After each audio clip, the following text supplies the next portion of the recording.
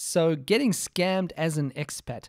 I was reading a Facebook group the other day, and there was a post by a woman who almost got scammed. And I, you know, I always think that scams are pretty easy to spot, but I guess people still fall for them. And it's a bit like Nigerian scams. They're still getting sent out because obviously people are falling for the scams. I don't know who these people are. People don't admit to it. It's not like someone goes, oh, hey, you know what happened uh, last week? I gave away 5,000 euros to some Nigerians by accident. No. So, but it, these scams are obviously happening. People are obviously getting caught. And when you read things on the Facebook groups about expats almost getting scammed while searching for an apartment, you kind of go, oh, okay, the, these is, these things are still happening.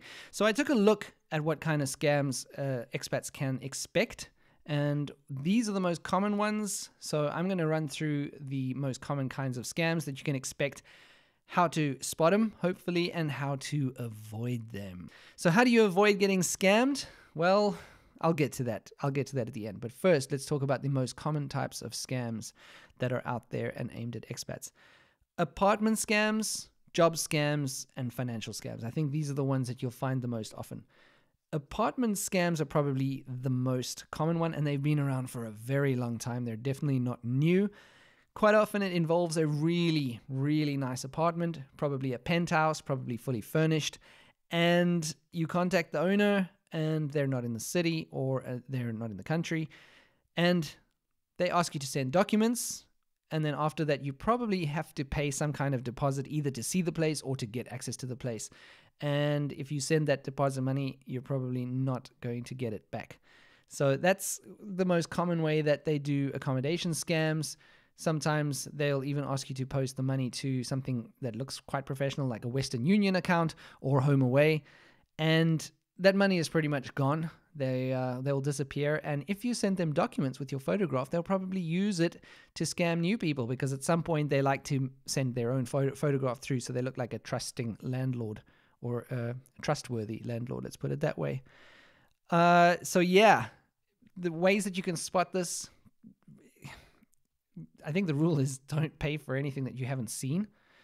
And yeah, that's pretty much it. And also maybe check the emails if you see bad grammar and bad spelling, that's fine. But if you see inconsistently bad grammar and bad spelling where they doing they're making different mistakes it could mean that multiple people are writing the mails. That might be an alarm bell for you uh yeah so you might be thinking who pays for a place without seeing it anyway? And the fact is at that point you don't know. You might just be so damn desperate. Or you could ask yourself you know this does seem too good to be true but what if i've just lucked out and i've hit the jackpot and i've gotten a prime apartment at a steal. What if this is for real?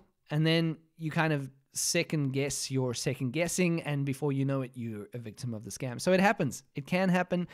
I feel bad for the people it happens to because, I mean, I don't think you need to be particularly dumb for this to happen to you. I think it could just happen.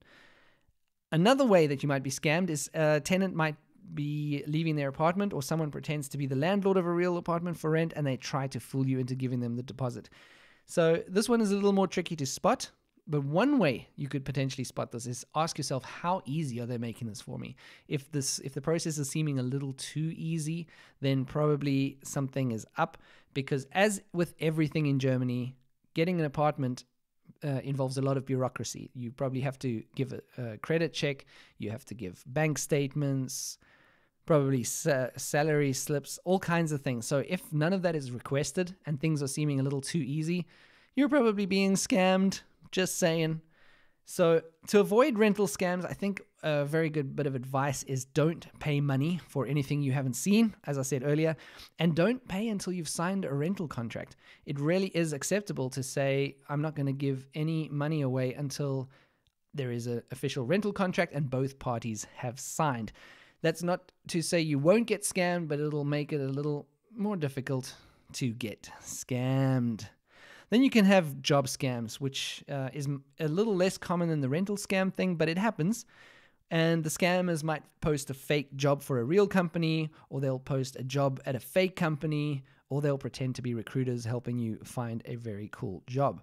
So during the process, they'll try and solicit money from you or just your personal information. And remember, the thing to remember is scammers are not always after your money.